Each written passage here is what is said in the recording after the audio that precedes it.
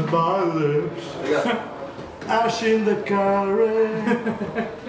Ash in the curry. Ash in the curry.